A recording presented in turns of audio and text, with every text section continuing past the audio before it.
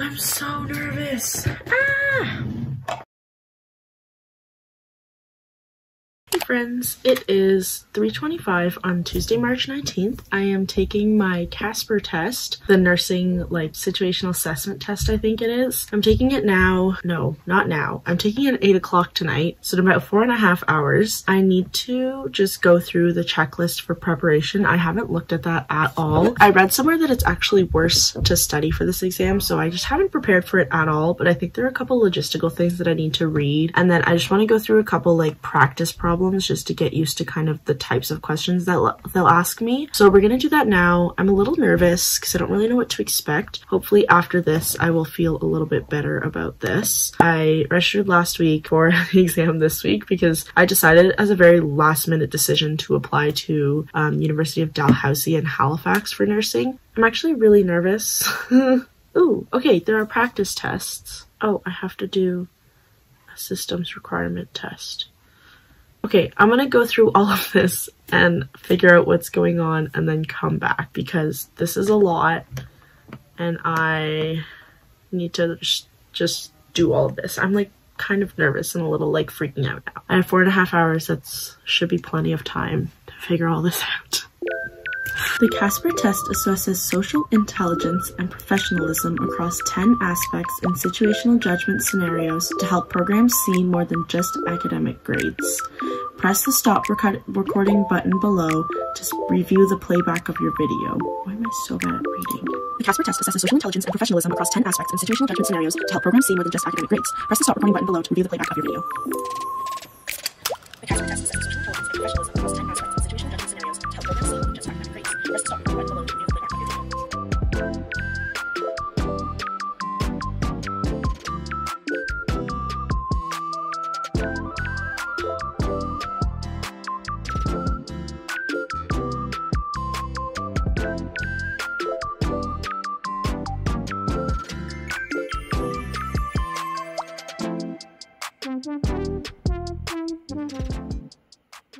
It's 4.52. I've just been, for the past like I think hour and a bit. Just been practicing, going through some practice problems like a mock Casper practice test. They said you can't really prepare for this, which makes total sense. There's nothing to study because this test is literally just asking you about morally ambiguous situations and then seeing what you would do in them. I'm actually realizing now it was very tiring because I was going through a practice test and I'm just so sleepy now. Like I feel like I use my brain a little too much. So I might go take a nap now. But yeah, I was just trying to get used to like the format of the test because it's really, it's kind of weird. Like they'll do like when half is video responses and the next half is like written responses. The time frames are like really short. So I think you get like 30 seconds to read a scenario and then they show you a video normally. You get 10 seconds to read the question and kind of begin to formulate a response and then you have a minute to do a video response. And then for the typing ones, you get 30 seconds to read a scenario and then you either watch a video or you read a word prompt again and then you have five minutes to answer three questions. I'm just trying to get used to that because this just goes really fast and I just have to think fast and be able to kind of talk more because I want to be able to take up the full minute and just say more rather than say less and just not have much to say. I think this is what I'm gonna wear for my Casper. I don't really know because you have to take videos they'll be able to like see you from like here up. So I'm just wondering if I should wear this or if I should like put on something else. This is just what I wore to work today. So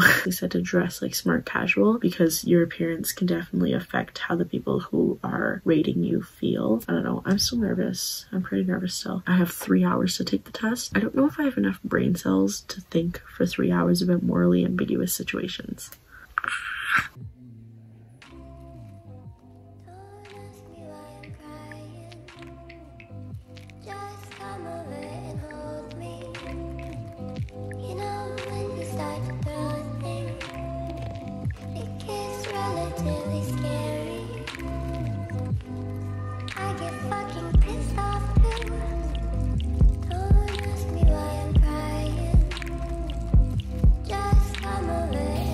Okay, 15 minutes until my exam. I am actually really nervous. I don't know if I said that already. I'm just gonna touch up my makeup just a little bit, put on a little more blush. I had dinner and like hung out with my siblings and watched an episode of a show and I took my prayer time.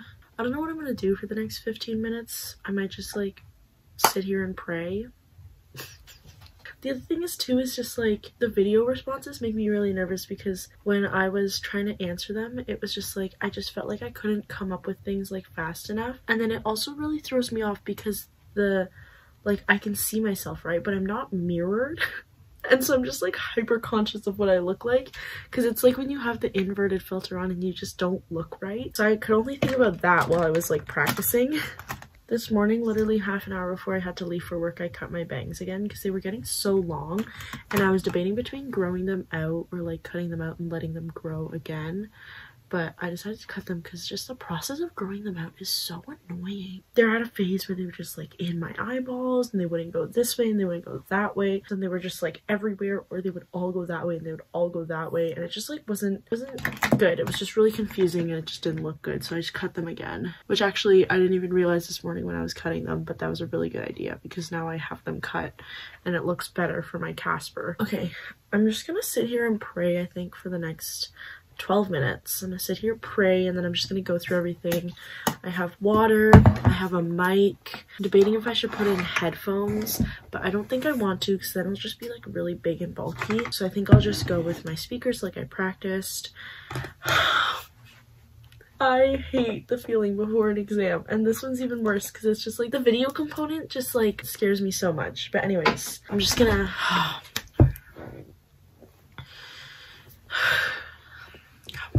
Come Lord Jesus. Okay, fun little sidebar just while I'm praying here. Something that I find really beautiful about being Catholic and having faith in God is the ability to rely on something greater than myself. In situations like this where I'm really nervous and I don't really know what's going to happen, I have the option to just surrender and let go and just let the outcome be what it is, knowing that I have a God behind me who is good enough to care for me in everything as long as I let Him. No matter what happens, God's got my back, and as long as I do my best and try to follow Him, He will guide me on a path to goodness. This kind of eternal perspective is something that I've struggled with for a really long time, but St. Paul said it best to the Romans If our God is for us, who is against us? Genuinely, nothing else really matters if you're striving to do God's will. That obviously doesn't mean we shouldn't try or we won't struggle in life, but it is again really beautiful to have that reassurance that life is about something bigger than us. It gives you the ability to accept an outcome no matter how hard and know that life will continue to be good.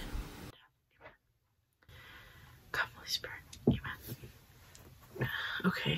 I think I'm also really nervous because there's really no way for me to prepare for this exam because I did like practice problems and stuff but in reality it's like they're just presenting you with a bunch of morally ambiguous situations and I don't even know if there's like a right or a wrong answer. I also went with this like white blouse on top of my t-shirt but oh my gosh I didn't even think about my background.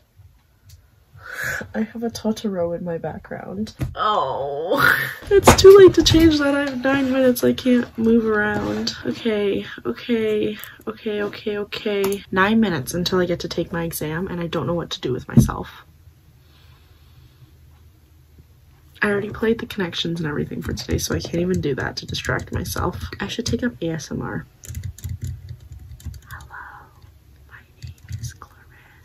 This is not even connected to the camera. It's connected to my laptop so I can use it for my exam. I want to do my nails but I'm a little too lazy for that. I also don't want to go get them done because it's too expensive. I don't have the budget for it right now. But like, I love having my nails done. It just makes me feel so more so more put together. Anyways, okay, eight minutes. I'm gonna go, I'm gonna put my camera away. I'm just gonna chill. Here we go. I'll see you guys after.